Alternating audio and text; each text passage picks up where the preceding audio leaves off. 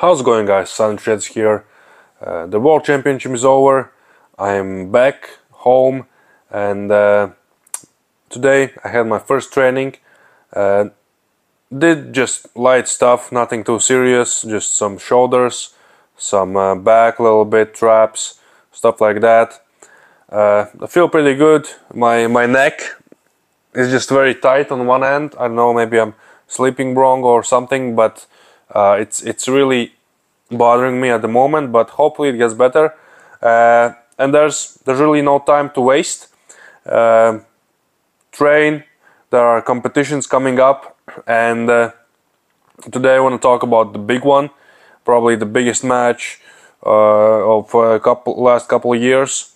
Uh, Devon Larratt versus Denis Cyplenkov, and in this video I want to talk about why I think Devon uh, would or could win this match. So, uh, Devon Larratt lately has been dominating the arm wrestling world. He's number one in 115 kilo class, number one guy uh, with the Levan's injury in super heavyweights as well. We saw how he dominated Ermes. Ermes couldn't get anything going, you know. Uh, Devon just overwhelmed with his hand control and uh, his uh, presence on the table on the setup as well. And uh, yeah, Ermes looked really, really helpless. Uh, the way Devon cracked his wrist was really impressive because you rarely see that with Ermes. Usually, Ermes is the one wrist dominant arm wrestler, but this time Devon was just too much. His pronation was good.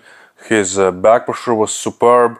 Uh, we saw a little glimpse that inside maybe Devon uh, was not that strong because Ermes was able to pull him back, but then again he went outside and uh, uh, there was nothing there uh, for Ermes. So why I think Devon could win this match is just because it's Devon He's been so active lately. He's been pulling a lot. He's in a great shape.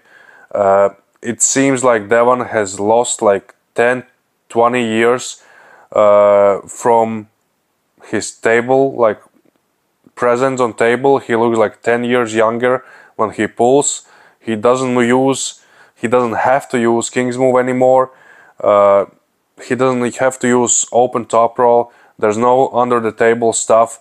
He's just composed, like back pressure, pronation, over the top, uh, arm wrestler, very very impressive, and uh, just seems getting better and better with uh, every competition, and uh, I believe he is getting better, which is insane uh, at this age, you know, to be able to progress still in the sport, and uh, yeah, I see this match. I see this as a very tough match for both athletes. Uh, Devon will be going into this match as a favorite, I believe, because like he's been uh, more active. Uh, he's been dominating uh, last matches. Uh, Denis, on the other hand, you know, we, we don't really know what his level is at. I mean, he easily beats every training partner. He easily beats David Dadikian, which is I'm still very impressive that he can do that. And uh, his shape should be very good and uh, also getting better with every day. But I think Devon will be coming into this match as favorite. So, uh, what can Devon do with Denis It will be very interesting. Uh, I think Devon will have the hand control will gain the the the pronation because Denis doesn't really care about uh, uh, the, the the wrist control. Uh, his wrist, even if he's holding like this, he can just go to the side, and uh, if the match goes outside, and if Devon is able to take the hand, I think he has a good chances of winning.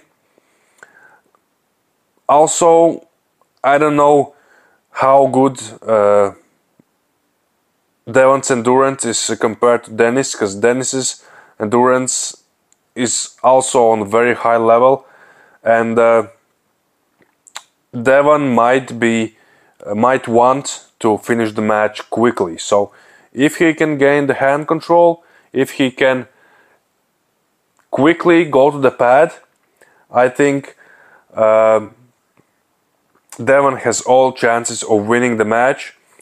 Um, if the match goes uh, like long, like longer, long way, uh, maybe Denis can can have something there. But right now, uh, I see Devon dominating the setup probably, uh, dominating the lead up to the to the match. Uh, we saw that Denis is not really uh, bothered by the by the how you say uh, mani- setup mani- manipulations in in their last match with uh, uh, with left arm like six years ago, uh, but I think with right arm Devon is a different animal, and he legitimately can beat him. Uh, you you you never can count Devon out. Uh, I think he can beat Denis, and uh, if Denis beats Devon, I will not be surprised. But uh, I will be surprised if Denis beats Devon easily. So I don't think it's going to be easy match for either guy.